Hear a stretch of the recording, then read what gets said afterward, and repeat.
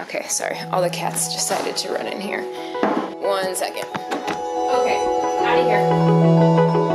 I think the first time I went on a trip, we're going to this beautiful place. It's gonna be, you know, pretty, nobody else is gonna be out there, especially in wintertime. And there's gonna be a whole bunch of other strangers. But weirdly, you kind of really quickly get over like the stranger aspect of it. You're all kind of you have to trust these people. And pretty quickly we got on the trail and it was like, oh, you're really rad.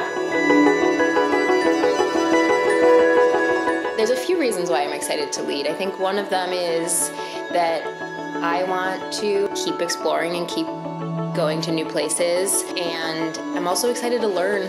I think that's a huge reason why you become an outings leader. I love hiking, I love doing this. What's that next step that you take?